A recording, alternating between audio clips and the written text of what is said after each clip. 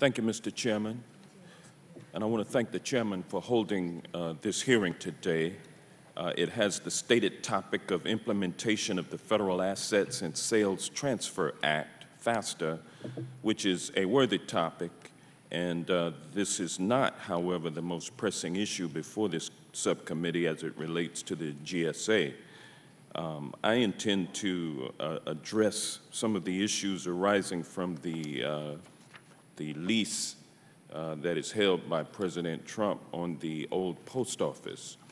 On March 24, 2017, GSA released a letter from a GSA contracting officer asserting that the Trump Old Post Office Lease LLC is in full compliance with its lease agreement. I categorically disagree with this conclusion.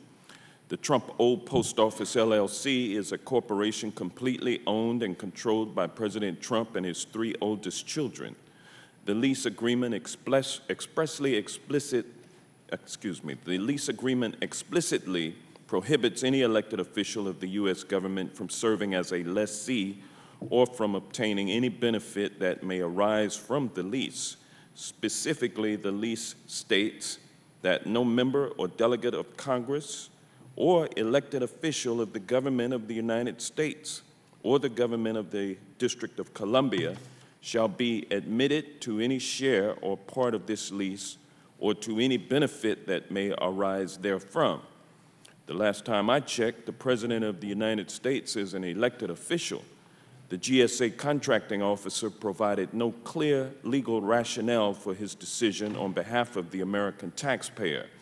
In fact, due to a Freedom of Information Act request, we now know that as early as November 11, 2016, this same key GSA contracting official was casting as, quote, nonsense, end quote, news reports dealing or detailing the conflict of interest for the old post office building. This determination was presumably before any legal analysis by the Office of General Counsel of GSA or the Department of Justice.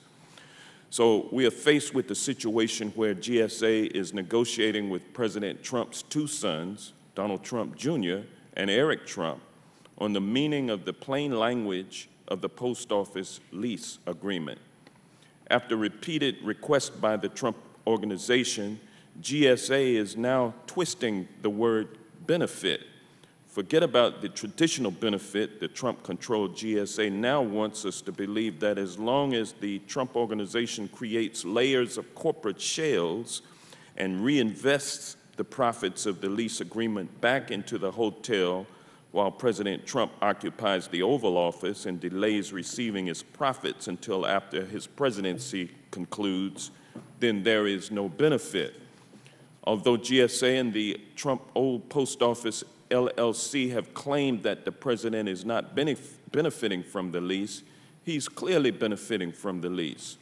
The president has listed the loan he took from Deutsche Bank to renovate the old post office building as a personal liability.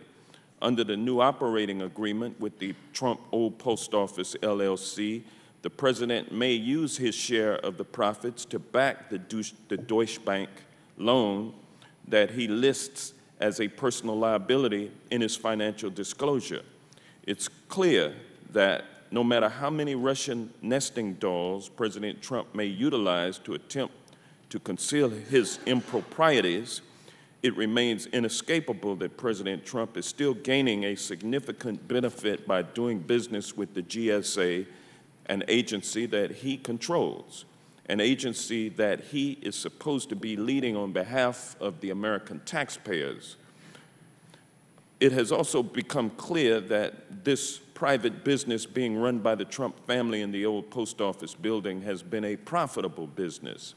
Recent financial disclosures from both President Trump and his daughter Ivanka Trump, a White House aide, show that they have received over $20 million in profits from the Trump International Hotel operating in the old post office building. It just opened in October, soft opening, uh, and for the first two months, I believe they indicated that there was a deficit. So that means over the last eight months, profits of $20 million have accumulated. Because the Trump administration has refused to release financial documents related to the old post office, we have no assurances that GSA has received a percentage of the profits that it is entitled to under the lease agreement.